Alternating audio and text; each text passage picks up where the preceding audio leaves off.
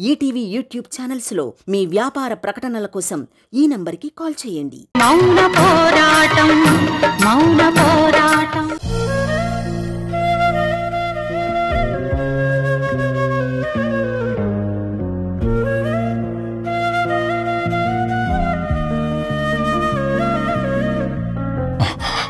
Ten అయింది. నక్షత్ర చాలా టైం అయింది. అమ్మకి చెప్పకుండా వచ్చేసాం. కంగారు పడుతూ ఉంటుంది. అ, బయలుదేరదామా? ఇప్పుడే వెళ్ళిపోతే అక్కడ జరగాల్సిన మ్యాటర్ జరగదు. రేపు మార్నింగ్ వరకు మురారిని ఇక్కడి నుంచి కదలనివ్వకూడదు. ఏంటి మురారి? మనిద్దరం సరదాగా సంతోషంగా ఉండాలని? హ, నీకు నేను నాకు నువ్వు తప్ప మన కళ్ళ ముందు ఎవరూ కనపడకూడదని హోటల్ టెర్రస్ మీద ఇంత బ్యూటిఫుల్గా రొమాంటిక్గా థింక్ చేసి ఏర్పాట్లు చేస్తే అప్పుడే ఇంటికి వెళ్ళిపోదామంటావేంటి? అమ్మ వెయిట్ చేస్తూ ఉంటుంది నక్షత్ర. నువ్వు పాపం చంకలో పసివాడివి. మరి నీకోసం ఎదురు చూస్తారు అత్తయ్య గారు. నేను ఆల్రెడీ అత్తయ్య గారికి మెసేజ్ వదిలొచ్చాను. మనిద్దరం సరదాగా బర్త్డేని ఎంజాయ్ చేసి వస్తామని ఆవిడకి ఆల్రెడీ అర్థమై ఉంటుంది. మనం ఎక్కడికి వెళ్ళామో. నువ్వింక వేరే ఏమీ ఆలోచించకు. అది కాదు నక్షత్ర. అరే నక్షత్ర.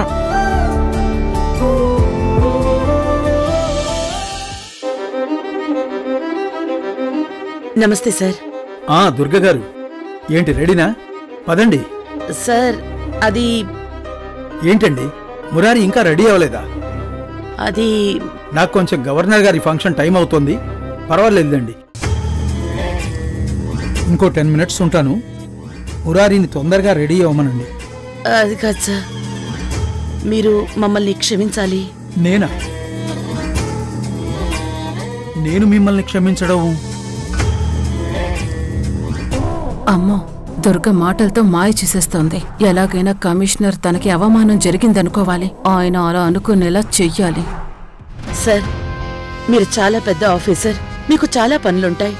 అయినా అవన్నింటినీ పక్కన పెట్టి మా ద్వారక మీద ఇష్టంతో ఇక్కడికి రావడానికి ఒప్పుకున్నారు. అందుకు మేమందరం చాలా హ్యాపీగా గ్రేట్ఫుల్గా ఫీల్ అయ్యాం.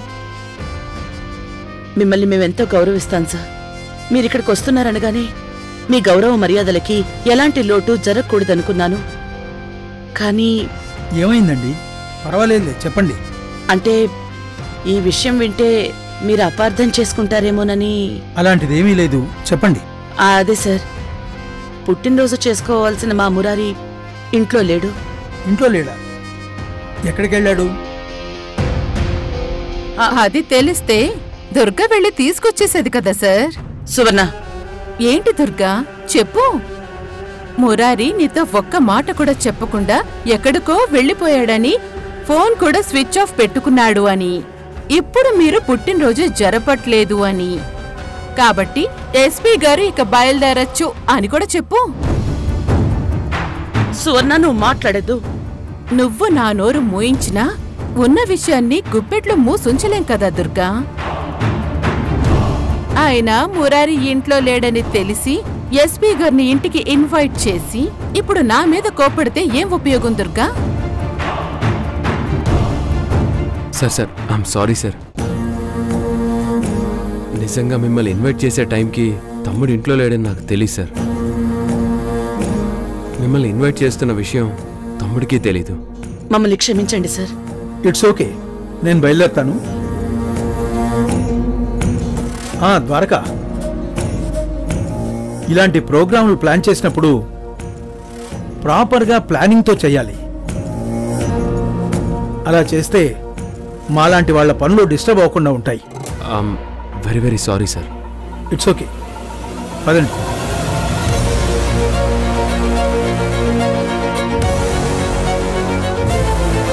ద్వారక? అబ్బబ్బబ్బబ్బబ్బబ్బ. సన్నటి సుదితో గుండెలోకి నిదానంగా గుచ్చేసి వెళ్ళిపోయారా ఎస్పీ కదా రఘురామ్ ఏయ్ నిన్ను. వచ్చి నా పేక పట్టుకుని పిసికే. దుర్గ నాతో పోటీని తట్టుకోలేక నన్ను చంపేసింది అనే గర్వంతో చచ్చిపోతాను!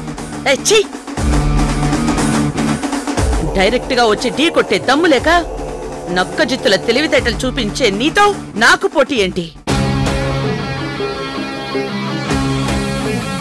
నిన్ను రాజశేఖర్ని చంపాలని డిసైడ్ అయితే నాకు రెప్ప వేసినంత టైం పట్టదు. కానీ మీలాంటి వాళ్ళకి శిక్ష చావు కాదు అనుకుంటున్నాను. అందుకే మీరింకా బ్రతికే ఉన్నారు. ఇదిగో సువర్ణ సీరియస్గా రగిలిపోయే సింహం ముందుకెళ్ళి తొడగొట్టకూడదు. తొడా మెడ విరిచి తినేస్తుంది. ఇంకా నోరు మూసుకొని ఉండు. అయినా అత్తయ్య ఇలాంటి వాళ్ళని ఇంకా ఎందుకు ఉంచడం? పంపించేయండి అత్తయ్యా. అవంతి ఇప్పుడు ఆవిడ్ని పంపించడం కాదు సమస్య. మురారి ఎక్కడికి వెళ్ళాడనేదే సమస్య. ఎందుకు వెళ్ళాడనే సమస్య? ద్వారకా ఎక్కడికి? తమ్ముడి ఫోన్ సిగ్నల్స్ ద్వారా వాడు ఎక్కడున్నాడో నేనే స్వయంగా తెలుసుకుంటాను. తెలుసుకుని? వెళ్ళి వాడిని ఇంటికి తీసుకొచ్చి గొడవ పడతావా? ద్వారక ఆవేశం వచ్చినప్పుడు శత్రువు మీదకి వెళ్ళినట్టు సొంత వాళ్ళ మీదకి వెళ్ళకూడదు. బంధం తెగిపోయే ప్రమాదం వస్తుంది. ఒక తప్పు జరగగానే ఆవేశపడ్డం కాదురా అన్నదమ్ముల ప్రేమంటే. ఎన్ని తప్పులు జరిగినా సర్దుకుపోయి సరిదిద్దుకుని శరీరం ఆత్మలా కలిసుండేదే అన్నదమ్ముల ప్రేమ. ఇక్కడ జరగాల్సింది జరగలేదు. జరగకూడంది జరగాల్సిన అవసరమూ లేదు. వెళ్ళినవాడు ఇప్పుడొచ్చినా ఒకటే పొద్దునొచ్చినా ఒకటే. వెళ్ళు వెళ్ళి పడుకో. మీరు కూడా వెళ్ళండి.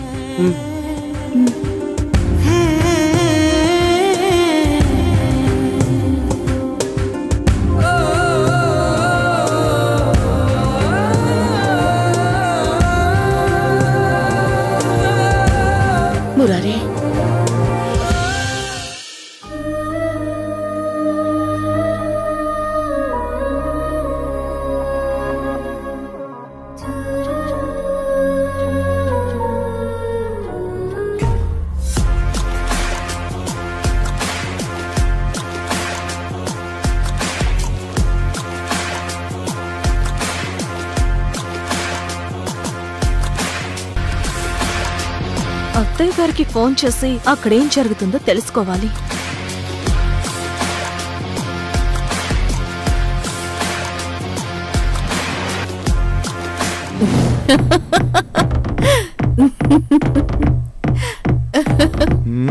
ఏంటి అంత ఆనందంగా ఉన్నావు? ఆనందం కాక ఇంకేంటి రఘురాం దుర్గ మీద గెలిస్తే ఆనందం కాక ఇంకేంటి? ఏంటి గెలిచావా? కుక్కలతో నాకేంటి అని పక్కకెళ్ళిపోయింది కాబట్టి ప్రాణాలతో బ్రతికావు లేదంటే ఈ పాటికి తల దగ్గర దీపం నోట్లో బియ్యం కాళ్ళ మీద పువ్వులు నుదుట మీద రూపాయి బిళ్ళ ఉండేవి. కాబట్టి నువ్వు సంతోషించాల్సింది బ్రతికావని గెలిచావని కాదు.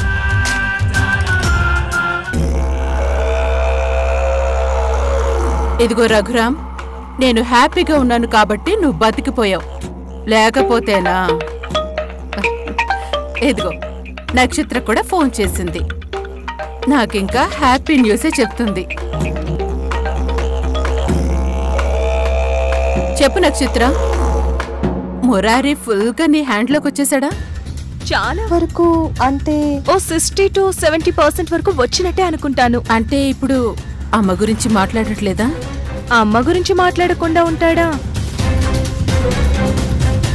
అమ్మని పూర్తిగా వదిలేయాలంటే హండ్రెడ్ కాదు టూ హండ్రెడ్ పర్సెంట్ మారాలి. అంటే ఇంకా అమ్మని తలుస్తున్నాడన్నమాట.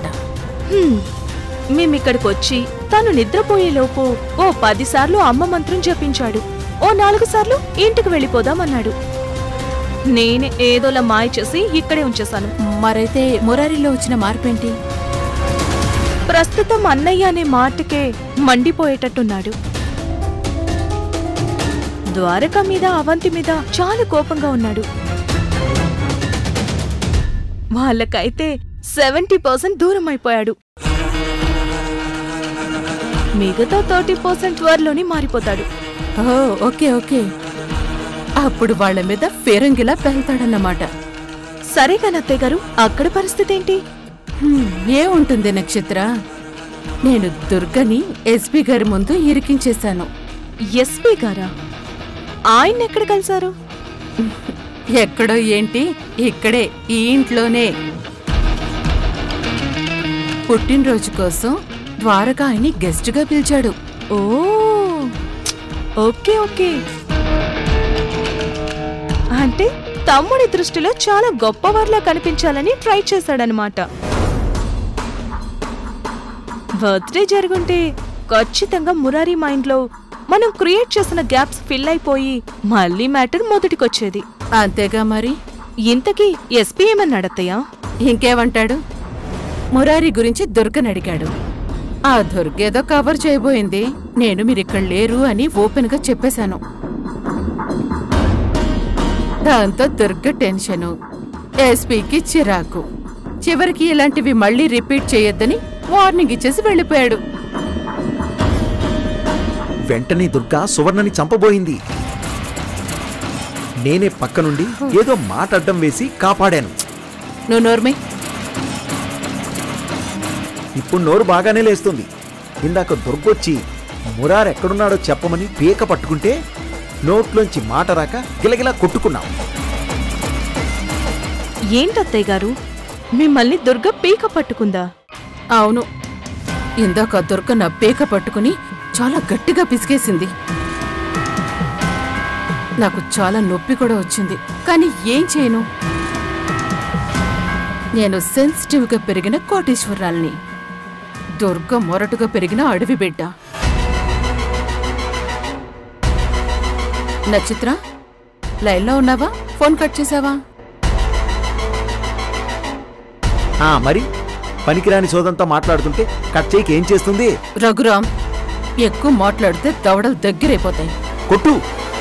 ఆడదానివి కాబట్టి తిరిగి కొట్టట్లేదు. కానీ నన్ను అన్యాయంగా కొట్టేందుకు దేవుడు చూస్తూ ఊరుకోడు. ఆ దుర్గతో అంతకంతా రిటర్న్ గిఫ్ట్గా ఇచ్చేస్తున్నాడు. దుర్గ కాదు రఘురాం నేను నేనిస్తాను. దుర్గ నాకిచ్చే ప్రతి దానికి అంతకంత వడ్డీ లెక్క గట్టి మరి తిరిగి ఇచ్చేస్తాను. అత్తయ్య గారు మీరు మీరు కాదు కొట్టుకోవాల్సింది. దుర్గ దుర్గ కొడుకులు. కొట్టుకుంటారు నక్షత్ర త్వరలోనే ఖచ్చితంగా దుర్గ కొడుకులిద్దరూ కొట్టుకుంటారు. దానికి శ్రీకారంగా దుర్గ ఫస్ట్ టైం నా ముందు తల వంచింది. ఎస్ ఎస్ మీ మోహాలు. దుర్గ మీ ముందు తలంచడం ఏంటి? అలా చెప్పుకొని మీలో మీరు సంతోషపడ్డమే కానీ నిజంగా దుర్గ తలంచదు. ఇక్కడ ద్వారక దుర్గ అవంతి. అందరూ పిచ్చెక్కినట్టయిపోయారు. మురారి ఇలా చేశాడని వాళ్ళు అస్సలు నమ్మలేకపోతున్నారు. అది నాకదే కావాలి. ఇంకా ఇంకా అనుభవించాలి వాళ్ళు. అప్పుడు గాని మా అమ్మ ఆత్మ శాంతించదు. మీ అమ్మ ఒక దేవత మరి? దాని ఆత్మ శాంతించడానికి. అది చేసిన తప్పుకి దాని ఆత్మ ఇక్కడ ఎక్కడా ఉండదు. హ్మ్, డైరెక్ట్గా నరకంలోకి వెళ్ళిపోయి ఉంటుంది. ఏంటి? మామయ్య ఏదో అంటున్నాడు? ఆ ఆ ఏం లేదమ్మా. ఖచ్చితంగా మీ అమ్మ ఆత్మ ప్రేతాత్మగా మారి ఈ చుట్టుపక్కలే తిరుగుతూ దుర్గకి జరిగే అవమానాన్ని చూసి సంతోషిస్తూ ఉంటుంది అంటున్నాను. నక్షత్ర. రఘురామ్ ఏదో పిచ్చి పిచ్చిగా మాట్లాడుతూ ఉంటాళ్ళే కాని ఎంతకీ మురారి పడుకున్నాడా? లేదంటే నేను మీతో ఎలా మాట్లాడగలను అత్తయ్య గారు? మంచిగా పడుకున్నాడు.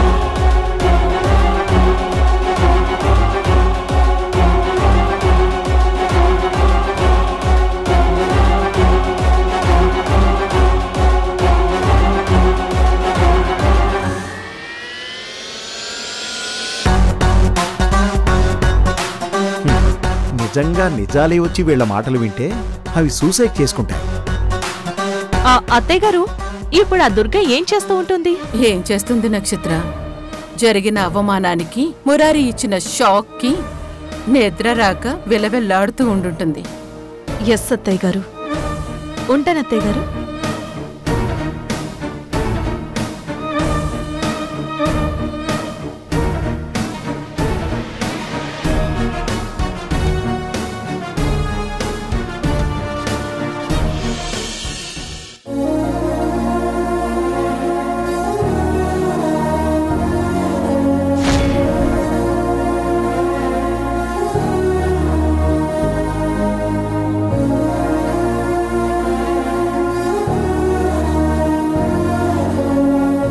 మురారి నువ్వు సంతోషంగా తిరిగొస్తానంటే నేను కాదంటాననుకున్నావా? ఇప్పుడిది ద్వారక మీద ప్రభావం చూపిస్తుందేమోనని భయంగా ఉందిరా.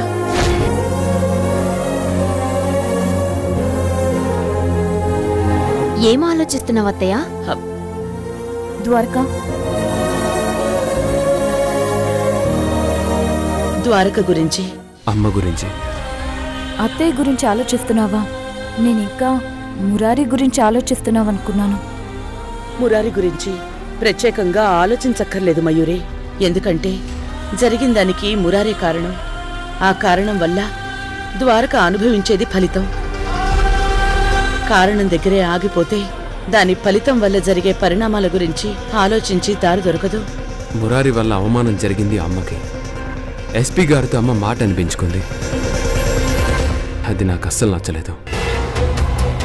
మురారి నిన్న రాత్రే నేను బర్త్డే చేస్తానని చాలా ఎదురు చూశాడు అది కాస్త నేను వాడి బాక్సింగ్ గ్రౌండ్లో జరిపించాను. ఇంక మనం మళ్ళీ ఇంట్లో ఇంకోసారి ఏర్పాట్లు చేస్తామని వాడే ఊహించడు కదా. అందుకే వాడేదో ప్లాన్ చేసుకుని ఉంటాడు. అత్తయ్య బావ చేసిన పని వల్ల నువ్వు ఎస్పీ గారితో మాట పడ్డావు. అది నీకు బాధ అనిపించలేదా?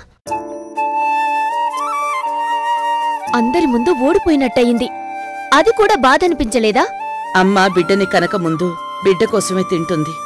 కన్నాక ఆ బిడ్డ కోసమే తనకిష్టమైనవన్నీ తినడం మానేస్తుంది. అన్నీ బిడ్డకే తినిపిస్తుంది. పిల్లల కోసమే అమ్మ మాటలు పడుతుంది కష్టాలు పడుతుంది. నేను అమ్మనే కదా. నా కొడుకు కోసం మాటలు పడినా ఓడిపోయినా పోయిదేముందనిపిస్తుందే గాని బాధ అనిపించదు నిజంగా అమ్మ బాధపడేది తను ఓడిపోయినప్పుడు కాదు మయూరి. తన పిల్లలు ఓడిపోయినప్పుడు. నేనిప్పుడు బాధపడుతుంది. జరిగిన దానివల్ల నా పెద్ద కొడుకు ద్వారకకి రేపేదైనా ఇబ్బంది వస్తుందేమోనని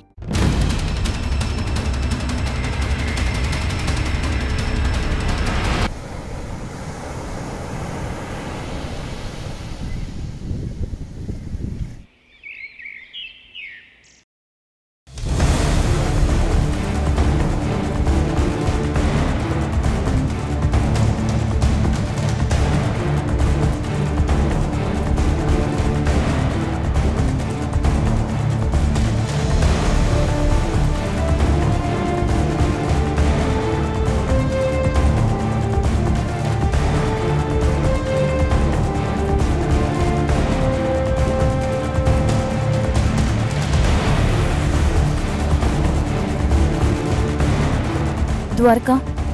కాఫీ. ద్వారకా నీ మైండ్లో ఏం రన్ అవుతుందో నాకు అర్థం అవుతుంది ఎందుకంత కోపం? మురారి అత్తయ్యకి చెప్పకుండా వెళ్ళాడు నిజమే. అందరి ముందు అత్తయ్యకి నీకు సమాధానం చెప్పలేని పరిస్థితి వచ్చింది నిజమే! అలా అని ఇంత కోపం తెచ్చుకొని ఆ కోపం అంతా ఎవరి మీద చూపించి ఆ నా కోపాన్ని నేను వేరే ఎవరి మీద చూపించనవంతి అంటే మురారి మీద చూపిస్తావా? ఏ చూపించకూడదా? అంటే మురారితో గొడవ పడతావా? వాడికి తెలుసు అమ్మ ఎవ్రీ ఇయర్ వాడికి సర్ప్రైజ్ ఇస్తుందని. వాడికి తెలుసు అమ్మకి ఇది స్పెషల్ డే అని. అంటే తనకి సరదాగా భార్యతో కలిసి బయటికి వెళ్ళాలనిపించిందేమో. వెళ్ళడం తప్ప? భార్యతో బయటికి వెళ్ళడం తప్పు కాదు. ఇన్నేళ్ళు పెంచిన అమ్మకి చెప్పకుండా వెళ్ళటం తప్పు. ఫోన్ స్విచ్ ఆఫ్ పెట్టడం తప్పు. అందరి ముందు తలదించుకునేలా చేయటం తప్పు. అమ్మే నా దైవం అమ్మ లేకపోతే నేను ఉండలేనని చెప్పిన మాటల్ని అబద్ధం చేయటం తప్పు. ఇది అమ్మని మోసం చేయడమే అవంతి. నన్ను మా నమ్మకాన్ని మోసం చేయడమే. దీన్నంత తేలిగ్గా తీసుకోలేను. వాడికి బుద్ధి చెప్పే తీరుతాను. చూడు ద్వారకా ఒక్క విషయం మర్చిపోకు. మురారి మనకెవ్వరికీ చెప్పకుండా వెళ్ళాడు. ఫోన్ కూడా స్విచ్ ఆఫ్ పెట్టాడు. అంటే దాని అర్థం ఏంటి? అతను తిరిగొచ్చాక ఎలాంటి ప్రశ్నలు ఎదురవుతాయో ఊహించుండడంటావా? ప్లీజ్ ద్వారకా నా మాట విను. అన్నా అని ప్రేమగా పిలిచే ఆ పిలుపుకి గౌరవం మిగుల్చుకుంటేనే బాగుంటుంది. అంటే ఏంటి ఇప్పుడు వాడు నాతో గొడవ పడతాడా? నా గౌరవం ఉంచడంటావా? చూద్దాం. వాణ్ణి నేను నా లక్ష్మణుడు అనుకున్నాను అవంతి అమ్మ పేగు పంచుకోకపోయినా అమ్మ ఆత్మని పంచుకున్నాడు అనుకున్నాను. చూస్తా. ఈ రోజు నా మీద వాడికున్న ప్రేమ నిజమో కాదో అన్నీ తెలుసుకుంటా. మా బంధంలో ఉన్న బలం ఎంతో తేల్చుకుంటా. ప్లీజ్ ద్వారకా నా మాట విను. ఈ విషయంలో అత్తయ్యనే మాట్లాడినివ్వు. ఇది నాకు నా తమ్ముడికి సంబంధించిన విషయం. దీంట్లో నువ్వు కల్పించుకోకుండా ఉంటే బాగుంటుంది. వాడు రావాలి నేను మాట్లాడాలి. ద్వారకా!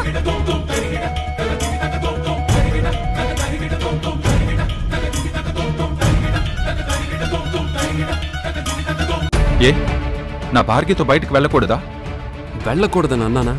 కానీ వెళ్ళేటప్పుడు చెప్పి వెళ్ళాలంటున్నాను. చెప్పి వెళ్ళాలా? ఎవరికి చెప్పాలి? నీకా?